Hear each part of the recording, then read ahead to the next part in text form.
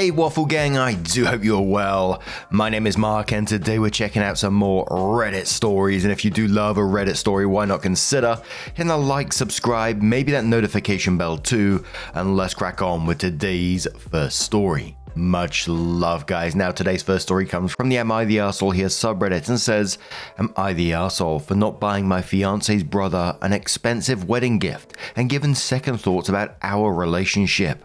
I, 32 male, have a successful business in New York City, and I'm engaged to my fiance, 26 female. We've been together for a few years and we're planning to get married in June 2025. I'm doing pretty well financially, and I recently bought a house where she'll move in after the wedding. I'm really close with my younger brother, 30 male, and we've been best friends for as long as I can remember. He got married in April, and as a wedding gift, I surprised him with a Rolex he's been eyeing out for a while. He didn't expect it and was over the moon about it, which made me feel great because I love him to death. Now, here's where things get sticky.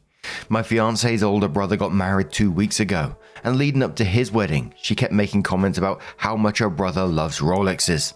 She mentioned it here and there, and I didn't really pay much attention.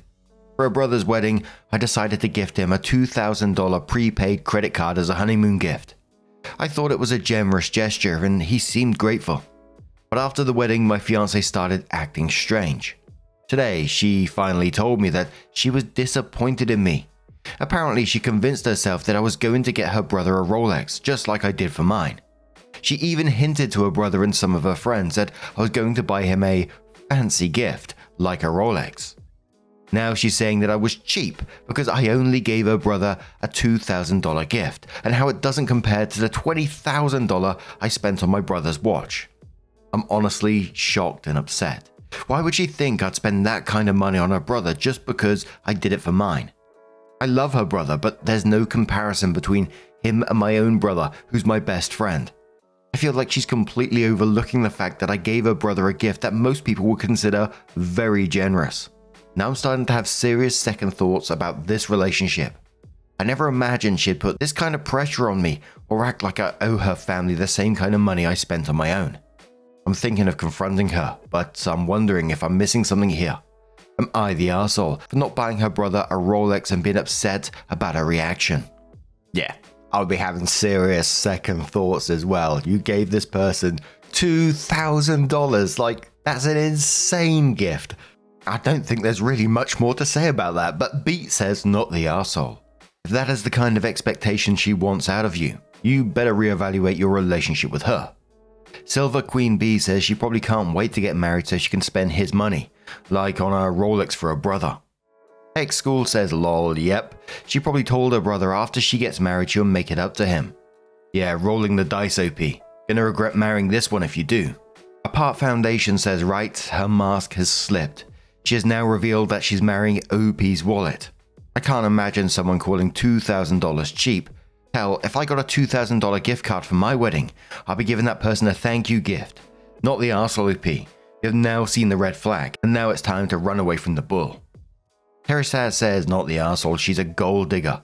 If your fiance wanted her brother to have a Rolex, she would have bought it for him. If this relationship continues, you need a prenup, preferably one that protects your premarital assets future income, retirement accounts, and limits any post divorce support. A reaction when you tell your fiance that you want a prenup and to have separate finances will tell you everything you need to know. Uncommon Delusion says, I'm not saying she's a gold digger, but she moved to the mountains in California in 1849 with some pans and a pickaxe.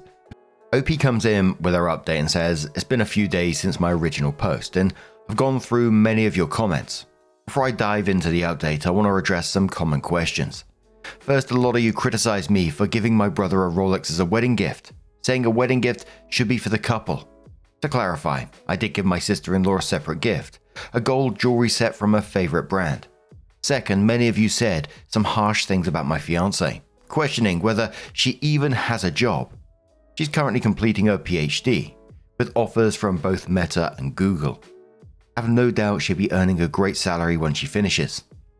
As for our age difference, she's 26 and I just turned 32, so it's only a 5 year gap. It's disappointing that some of you assume she was with me just for money. Also, for those who asked, she gave my brother a gift worth $1,000. Now for the actual update. I asked her to meet me for dinner, and after we went to a nice restaurant, we headed back to my place.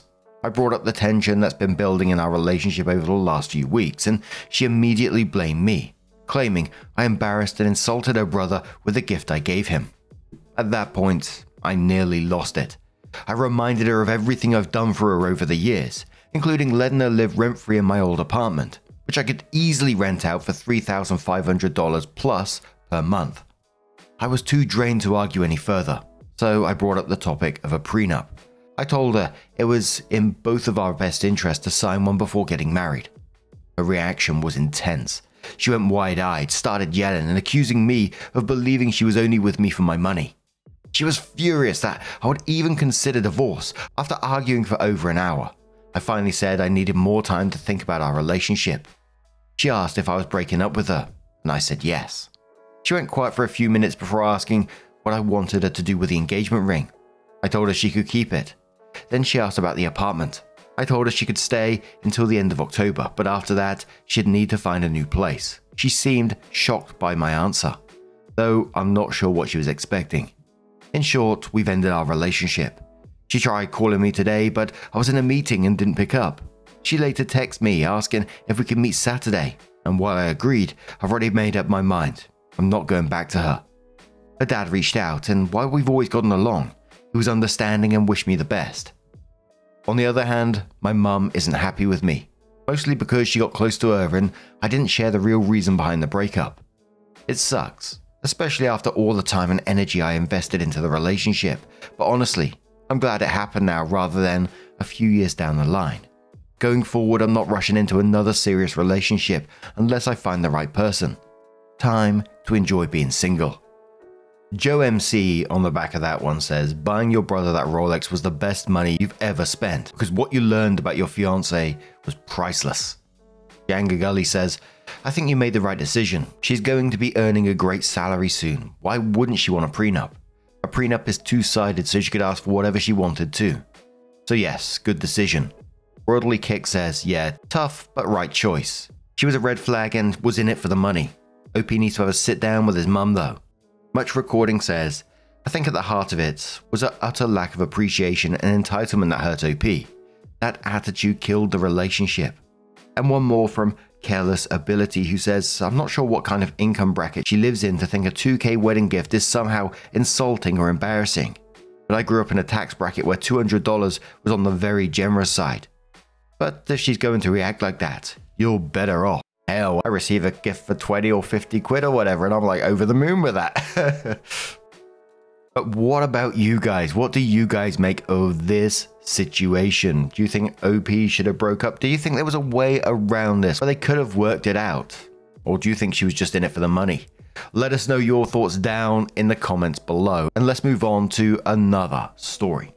Now, our next story comes from It's Not You, again from the Am I the Arsehole here subreddit, and says, Am I the arsehole for getting angry at my wife for kissing her best friend? Me, 30 male, and my wife, 28 female, have been married for two years and dating four years before that. Let's call her Maya.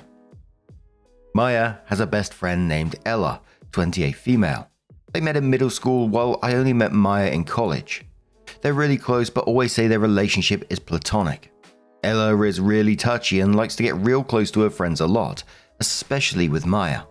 Now, I don't really mind the hugs and occasional kisses on the cheek, but what really bugged me was when Ella kissed Maya, lips to lips.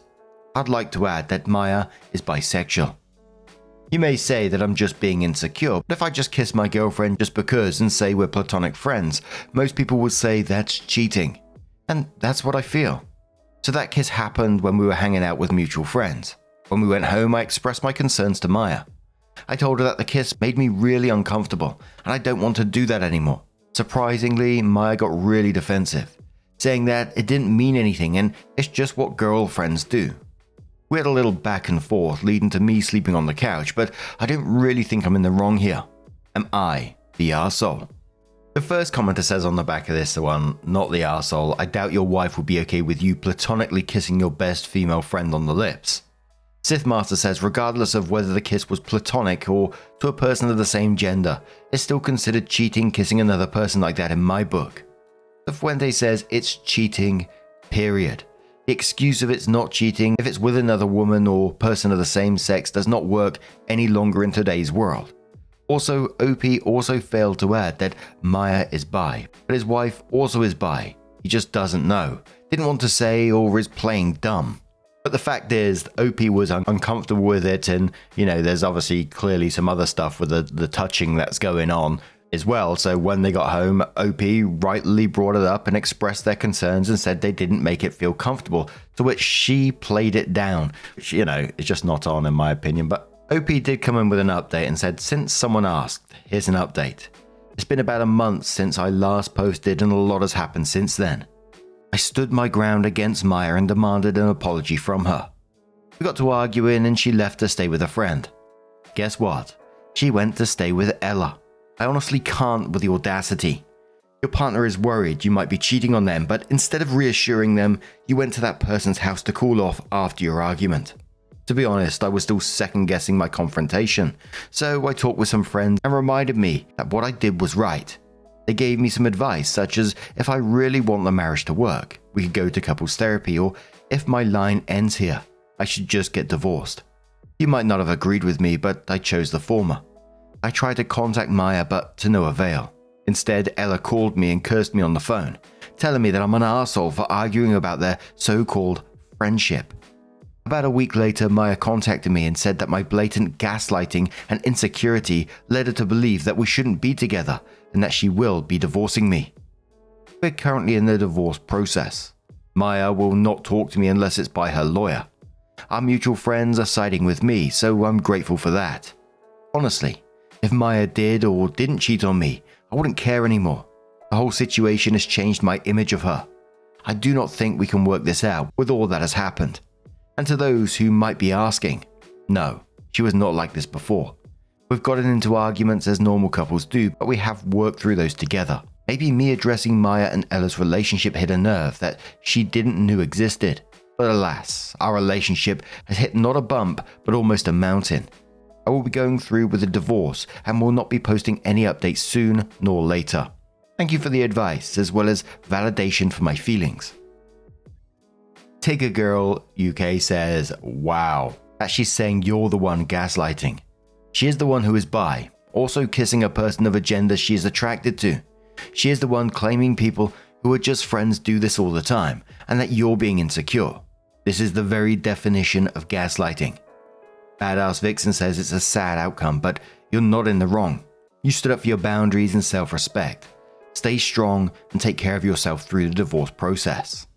Slam Slam Oh Hot Damn says and quotes that last comment saying you stood up for your boundaries and self respect and then says, Did we read the same post? Because this guy tried to stay with her even after she treated him like complete shit, and it was her that initiated the divorce. If it went OP's way, he'd still be in this relationship. He certainly doesn't have any self respect. Dude needs some serious soul searching on why he felt he needed to work it out with someone who treats him like this. But now I'm going to turn this one to you guys. What do you guys make of this situation? And let's move on to another story. Now, our next story is from our very own subreddit r slash mark narrations from interesting we 161 who asks, Am I the arsehole for saying no to grabbing an extra copy of notes for a friend because he couldn't be bothered going to class? Hey, Waffle Gang, and Mark, hello there. Hope you're all doing well. My story isn't one of a huge incident, but I would just like to know whether I'm in the wrong here. I'll accept the verdict regardless of what it is. So let's get into it. English is not my first language, so please excuse any grammar mistakes. I, 24 female, was decently good friends with my college schoolmate, 25 male, whom I'll call Aiden. I say was because Aiden and I had a fallout a few months ago, and are just starting to rekindle our friendship. I wouldn't say we're close right now, but we're definitely cordial. I won't go into detail on what happened, but there were things Aiden did unintentionally that were really disrespectful and hurtful towards me. Aiden and I usually help each other with notes when one of us can't make it onto campus, and we used to meet up in school to study together whenever there's a big test. We have an upcoming test that was worth a hefty percentage of our grade, and since Aiden had work the same day of the lecture, I grabbed him an extra copy of the handout, which he greatly appreciated. Last night, I texted him asking if he wanted to come to school early to study and suggested we meet at 10 am. He said, sure thing. Fast forward to this morning, I arrived on time. I saw two of our mutual classmates sitting behind the seats I chose, and we made some small talk before I opened my laptop to study. Aiden texted me saying he would arrive at 10:30. I was a bit annoyed that he would be 30 minutes late, but oh well. 10:30 arrives, he's not here. 10:45, still not here. Our next class was at 12 and I had to make the 15-minute one-way walk to the nearby college mall to get some lunch. Had we started on time, we would have gotten quite a few questions clarified by comparing notes and could have gone through some practice questions. Aiden finally arrives at 10:50. But instead of sitting down and at least saying, Sorry I'm late, let's get as much as we can done before class starts, he saw our mutual classmates and just started talking to them. Keep in mind, he went straight to talking to them without even saying hello to me. I thought to myself, okay, I'll just go to the bathroom first and then he'll be ready. I come back and what do you know? Aiden was still talking with our classmates. Fair enough, if it was school related, but they were full on casual conversations. At that point, I just decided to continue studying by myself instead of wasting my time waiting on him. 20 minutes goes by, and Aiden was still continuing the conversation. I couldn't help but feel annoyed that he just wasted my time like that. I could have spent an extra couple of hours sleeping before heading to school. I lived two hours away from campus. Without telling Aiden I was leaving, I packed my stuff and grabbed my bag to head to the mall. Aiden must have finally started to wrap the conversation because he immediately went after me and asked me where I was going. I answered accordingly and he said he'll come along. As we finished lunch and walked back to campus, he started saying he was considering ditching class and just going home. I was confused because that meant he would have come to school for nothing. I told him that the lecturer will likely provide us with more information in regard to the upcoming test and maybe some practice questions. Aiden then asked if I can just grab an extra copy of notes for him and fill him in like last week. Maybe it was me being annoyed at him being late, not apologizing, and just spent any remaining time talking to our classmates instead of sticking to our plan to study. I firmly told him no. I said that I grabbed him a copy last week because he had work and actually couldn't make it. But I was not going to save his ass just because he can't be bothered when he's already physically on campus. Aiden didn't try to argue and went back and forth for a while on whether to stay. In the end, he decided to head home and just look at the lecture slides. I went to class with my friend group, and surprise, surprise, the lecturer gave us handouts as well as mock questions that are similar to the real test. My friend asked if I really was not going to grab Aiden a copy. I replied that I won't, that since it was his choice to leave last minute and not come, he can bear whatever consequences that come with it. I'm now starting to feel a bit bad that I was so blunt and maybe rude with the way that I talked to Aiden. But he was the one who blew me off and wasted my morning. So, guys, am I at fault there? Am I the arsehole? Absolutely not the arsehole in this situation at all, and I wouldn't even let it play in your mind just, just a little bit. Consequences have actions. You know, maybe at first I was thinking, oh, he's late and he wasn't able to get in touch with you because of some like family emergency where meeting you was at the back of his mind and he wasn't able to get to his phone for whatever reason. But it wasn't the case at all, you know. He's just taking advantage of you being a good person and helping him out when you can. And it just feels like, and I know it sounds horrible to say, like one of those one sided friendships where he's going to keep taking from it the more you allow him to do so. So good on you for putting your foot down in this situation and, and like just being no. You know, this is your responsibility. But Shadow says not the arsehole. If he isn't willing to deal with the consequences of his decisions, then he needs to make better decisions. You helped him out when he had a legitimate reason for missing class. If this time he got sick or started to feel ill, that's a different story, but it's not. This case, he's just skipping class because it seems like he doesn't feel like going to class. That's a problem of his own making that he needs to dig himself out of. Soft Shoulder says, not the arsehole. As I see it, there's a few things going on here. First, you were there very early because you had agreed to study. You got studying done by yourself, but essentially he wasted your time. That would have irritated me as well. Then he ignored you. College age me would have been bothered by this a lot. The older, wiser me thinks that letting this part get to you is just unnecessary stress. Finally, how lazy or whatever do you have to be to show up on campus and not go to class? Honestly, I think this friendship isn't the best for you. It's already on thin ice due to past issues. You seem pretty serious about your studies and he is not.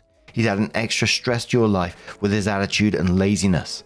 You aren't responsible for him. You can be helpful, but that's your choice. He was there. And exactly what Soft said there is like, what is that? What is this relationship offering you? What is he bringing to the table in this friendship?